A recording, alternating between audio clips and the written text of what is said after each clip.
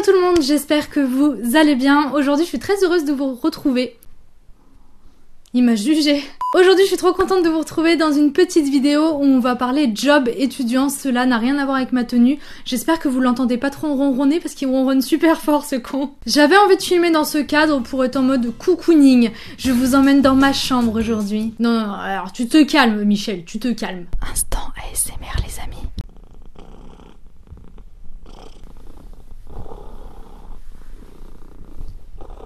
Vous êtes très nombreux à me poser régulièrement des questions sur les jobs étudiants que j'ai eus, qu'est-ce que j'ai fait, comment je les ai trouvés et surtout comment j'arrivais à m'organiser à cette époque-là. Je vous ai tout simplement demandé sur Instagram si ça vous plairait que je vous en parle en vidéo et la majorité a dit que oui. Moi je savais pas trop si ça allait être utile ou intéressant mais bon, pourquoi pas, c'est vrai que j'en ai jamais parlé. Vous avez vu comme je suis bien accordée avec mon chat? Je suis même encore plus rousse que toi là. Arrête de ronronner, arrête d'être un chat heureux. Ouais, il fait des petits bisous. Donc écoutez, trêve de blabla et c'est.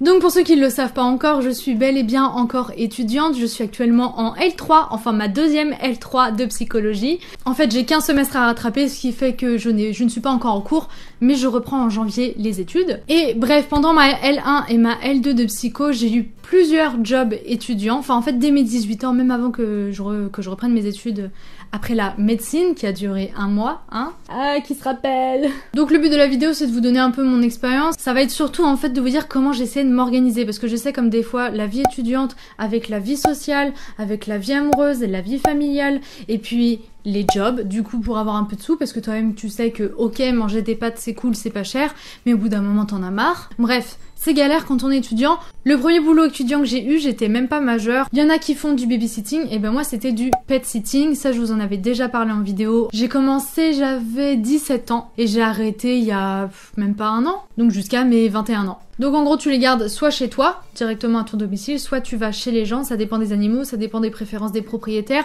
ça dépend aussi de tes préférences à toi. La plupart du temps, personnellement, je les gardais chez moi, sauf si c'était des chats, ou du coup c'était un peu plus compliqué forcément. Et c'était pas tous les jours, mais ça me prenait quand même beaucoup beaucoup beaucoup de temps. Je sais que pendant toutes les vacances scolaires, clairement, j'avais forcément un chien à la maison, et j'allais aussi chez des gens en plus. Ça m'arrivait très régulièrement d'avoir trois maisons appartements différentes ou aller tous les jours, plusieurs fois par jour pour m'occuper de chats, cochons d'Inde, poissons. Et en plus, j'avais un chien chez moi. Je faisais aussi des balades en fait euh, régulièrement chez, chez des gens qui n'avaient pas le temps parce qu'ils étaient au boulot et que le chien avait besoin de se dépenser. Donc j'allais chez les gens pour aller promener le chien, tout ça, tout ça. Donc ça, c'était le premier job étudiant, mais dont je vous avais déjà bien parlé, que j'avais adoré. Ça m'a appris plein de choses. Après, je suis pas d'accord par rapport à ceux qui disent que c'est un boulot facile. Alors c'est sûr qu'il y a bien, bien, bien, bien plus compliqué, crois-moi mais euh, t'as quand même la responsabilité d'un animal et c'est pas rien, hein, c'est une vie. Surtout qu'en fait, en plus, chaque animal est vraiment très différent. Il y a des animaux qui ont besoin de beaucoup d'attention, il y a des animaux qui font beaucoup de conneries. Il y a des parties de ma maison ici qui sont abîmées à cause de chiens que j'ai gardés. Enfin bon, bref. J'adorais faire ce taf-là, forcément parce que je suis une grande fan des animaux.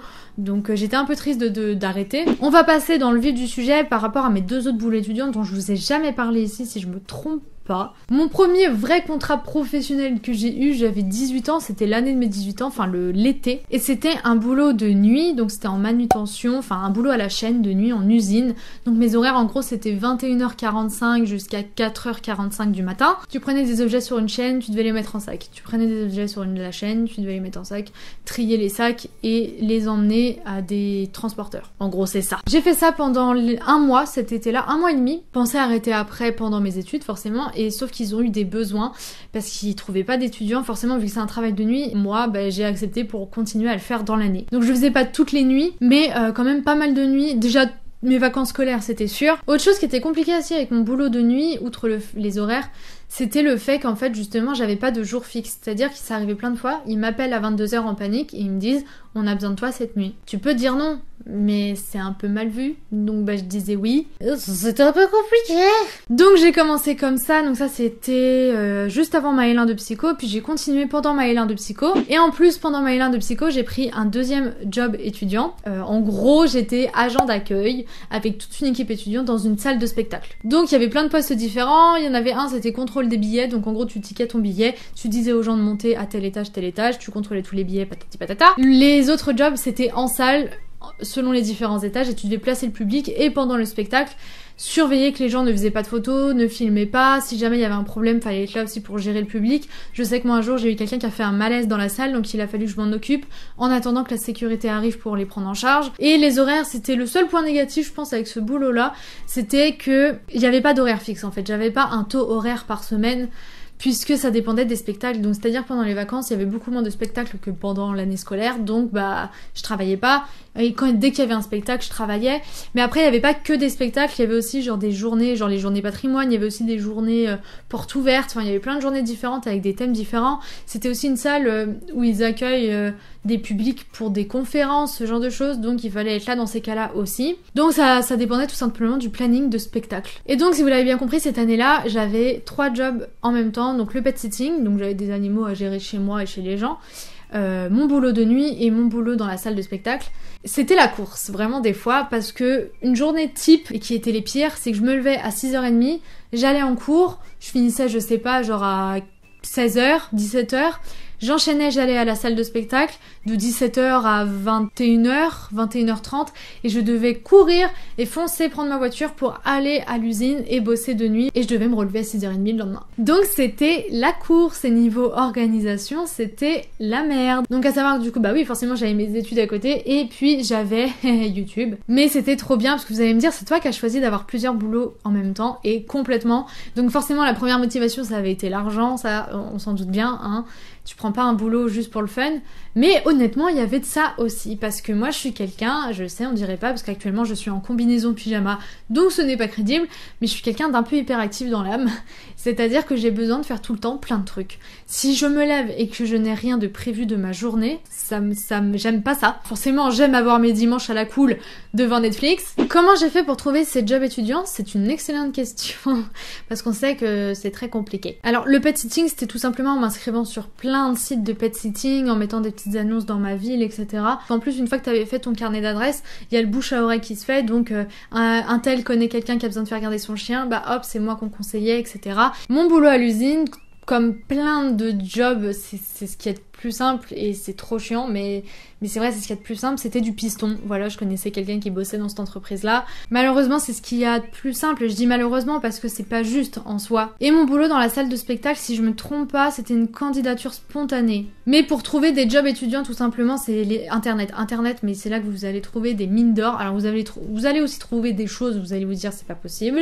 Euh, je sais que j'en connais beaucoup dans mon entourage qui ont fait comme ça. Leur boulot étudiant en fait de l'été, bah au final, si ça s'est bien passé, ils ont réussi à obtenir un CDD pour euh, l'année avec des horaires qui leur conviennent en fonction de leur cours. Aujourd'hui, en termes de boulot étudiant, j'ai tout arrêté. Voilà, j'ai tout arrêté un peu au fur et à mesure pour me consacrer entièrement à YouTube, en plus de mes études parce que YouTube prend une place énormissime et c'est tellement bien. Non mais c'est vraiment trop bien de pouvoir euh, être rémunéré pour sa passion en fait. C'est ça qui est génial. Bref, je vais pas vous faire le topo que beaucoup de youtubeurs ont dû vous faire là-dessus mais c'est génial. Mon organisation parce que j'en avais vraiment besoin. En fait, c'était pas les mêmes horaires toutes les semaines, c'était pas les mêmes jours de boulot toutes les semaines. Donc forcément, j'avais toujours avec moi mon agenda et mon carnet YouTube. Toujours, toujours, Mon carnet YouTube, bon ça c'est pas ultra important pour vous, mais mon agenda, bon c'était pas celui-là que j'avais à l'époque, mais voilà. Puisque bah dedans je note, et je suis encore comme ça aujourd'hui, mais à l'époque c'était dix fois pire. Bah je notais tout, donc mes horaires, euh, je notais aussi bien, parce que justement vu que j'avais pas des horaires fixes, je notais bien euh, combien de temps j'avais bossé tel mois pour vérifier ma fiche de salaire, parce que toi-même tu sais que souvent il y a des erreurs, donc il vaut mieux surveiller. Vraiment je vous conseille de tout noter, que ce soit combien de temps vous bossez, vos horaires, vos jours de boulot forcément. Euh, vous allez me dire c'est des trucs à la con, mais je sais que moi très souvent on m'appelait, j'étais en plein cours, donc je sortais du cours pour décrocher parce que je savais que c'était le boulot, et on me disait ouais tu dois bosser tel jour de telle heure à telle heure, puis tel jour de telle heure à telle heure, et ça m'arrivait plein de fois de pas le noter et d'être en mode putain, c'est quoi déjà quand je bosse?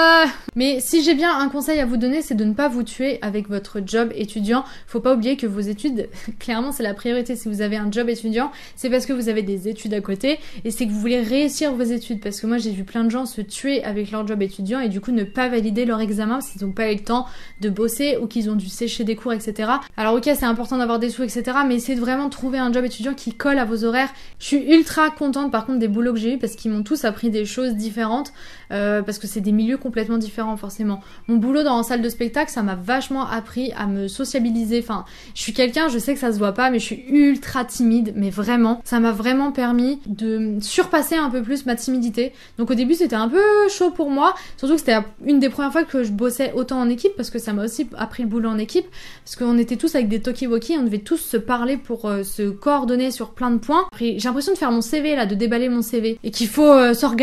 L'organisation aussi, ça, me l'a vachement appris, hein, tout simplement parce que comme je vous dis, j'avais mon agenda et tout le bordel, mais avant j'étais la meuf la moins organisée du monde et ça, ça me l'a appris parce que j'avais juste pas le choix. Mon taf de nuit, lui, m'a appris des choses bien différentes. Il m'a appris à déjà euh, à moins dormir. du coup, maintenant, je dors vraiment très très peu, mais bon. Tu te calmes, Michel. C'est quoi ce chat là après, je sais aussi qu'il y a des gens, euh, ils profitent d'avoir fait un stage dans le cadre de leurs études pour ensuite avoir un CDD dans leur, l'entreprise où ils ont fait leur stage. N'hésitez pas à demander vers la fin de vos stages, en tout cas si ça s'est bien passé pour vous comme pour euh, eux, s'ils sont contents de vous, à leur demander si par hasard ils auraient pas un petit CDD euh, en temps partiel. Faut vraiment pas hésiter à demander. C'est ça le truc pour trouver un job étudiant, il faut avoir la niaque sur votre CV, essayez de vous démarquer. Je vous demande pas de mettre des guirlandes de Noël sur votre CV. Évitez les CV un peu bateaux avec euh, les mêmes qualités, genre perfectionniste, euh, ce genre de choses. Mettez sur votre CV les expériences qui sont vraiment utiles et les diplômes qui sont vraiment utiles. Si vous avez votre bac, c'est peut-être pas utile de mettre que vous avez eu le brevet. Vous voyez ce genre de choses, faut pas non plus trop le surcharger le CV parce que euh, en gros, un employeur, il va lire votre CV en quelques secondes et il faut que ça lui tape dans l'œil pour qu'il ait déjà envie après de lire votre lettre de motivation et puis après de vous prendre en entretien. Et essayez de le préparer avant, renseignez-vous sur l'entreprise dans laquelle vous allez travailler, essayez de trouver des arguments sur les questions qui risquent de tomber. Pourquoi vous voulez venir travailler chez vous? Quelles sont vos qualités? Qu'est-ce que vos précédentes expériences vous ont apporté Quels sont vos défauts Essayez de trouver des défauts qui peuvent se transformer en qualité et dites-vous qu'il y a souvent beaucoup de candidats qui sont euh, derrière vous qui attendent aussi cette place-là. Ce que j'ai fait, euh, je peux vous dire que c'est souvent les mêmes questions qui ressortent et il y en a certaines à préparer et euh, vous pouvez expliquer, euh, je sais pas, par exemple, vous voulez travailler dans une entreprise et dire que c'est les valeurs de l'entreprise qui vous ont plu, expliquer lesquelles, pourquoi, expliquer en fait tout ça, ce que vous cherchez en travaillant dans cette entreprise. Alors forcément, je sais que votre motivation numéro une, c'est l'argent, mais essayez de trouver des motivations autres que ça et essayez aussi de vous déstresser. Parce que sous le stress, on peut dire de grosses conneries et le regretter après. Ça peut montrer une image de vous qui n'est pas réelle. Essayez de vous dire que même si vous décrochez pas ce boulot-là, vous en trouverez peut-être un autre et que c'est pas grave. C'est un truc que j'applique tout le temps maintenant. En gros, quand il y a un truc qui me tracasse, un truc qui me saoule, j'applique la, la règle des 5. Est-ce que dans 5 minutes, ça va toujours me saouler?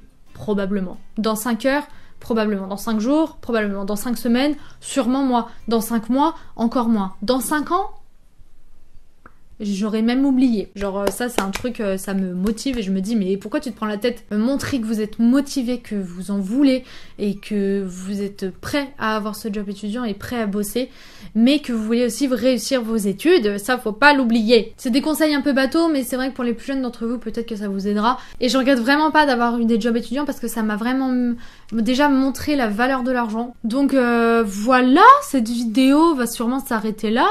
Pout pout, tu dis au revoir, tu fais un bisou. N'hésitez pas dans les commentaires à donner vos euh, expériences ou, surtout en fait à donner vos conseils pour ceux qui cherchent des tafs étudiants, qui savent pas comment faire, qui savent pas comment s'y prendre et qui stressent probablement. Et pensez à vous aussi, entre les études, la vie sociale, la vie familiale, les machins, des fois on s'oublie. Mais il ne faut pas s'oublier. Vous, ne trouverez jamais un meilleur ami que vous-même. Voilà tout le monde, j'espère que cette petite vidéo cocooning vous aura plu. J'aime beaucoup le cadre de la vidéo personnellement. Je suis très très bien dans mon petit lit là. Pout Pout et moi, on vous fait de très gros bisous. Et en attendant la prochaine vidéo, bah, je vous fais de très gros bisous. Ciao